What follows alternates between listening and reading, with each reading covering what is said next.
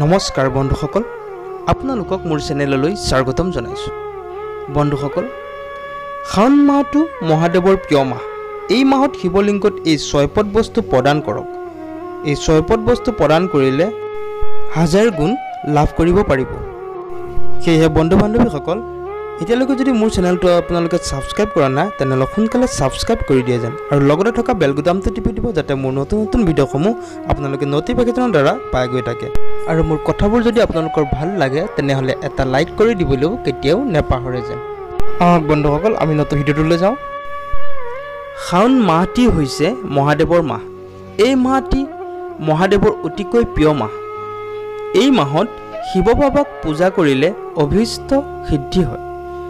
এই মাহৰ বিশেষকৈ সোমবাৰকেইটা অতি পবিত্ৰ আৰু ফলদায়ী ব্ৰত ধাৰণৰ উচিত সময়।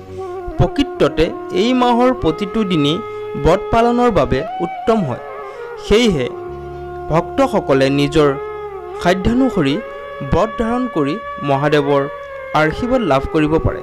সেয়েহে এই মাহত শিৱলিংগত এই ছয়পদ বস্তু প্ৰদান কৰিলে মহাদেৱৰ পৰা হাজাৰ গুণ লাভ কৰিব পাৰিব। বন্ধুসকল এই ছয়পদ বস্তু এই মাহত গাখীৰ অৰ্পণ কৰা অতিকৈ প্ৰয়োজনীয়। শিৱলিংগত গাখীৰ ঢালিব লাগে। গাখীৰ ঢালিলে মহাদেৱ অতিকৈ প্ৰসন্ন হয় আৰু আপুনি যি আশীৰ্বাদ বিচাৰে সেই আশীৰ্বাদেই পূৰ্ণ হয়। দুই নম্বৰ শিৱলিংগত বেলপাত নিবেদন কৰিব। বেলপাত নিবেদন কৰিলে আপোনাৰ আশা আকাংক্ষা পূৰণ হয়। তিনি নম্বৰ গংগাজল। গংগাজল শিৱলিংগত ঢালিব লাগে। গংগাজল ঢালিলে মনৰ আশা পূৰণ হয়। চাৰি নম্বৰ সুখ সফলতা বেমাৰ আজাৰৰ পৰা মুক্ত হ'বলৈ শিৱলিংগত দৈ ঢালিব লাগে। পাঁচ নম্বৰ শিৱলিংগত পঞ্চামৃত অৰ্পণ কৰিব লাগে। পঞ্চামৃত অৰ্পণ কৰি ফল মিঠাই ঘিউ চাকি ধূপ দিব লাগে।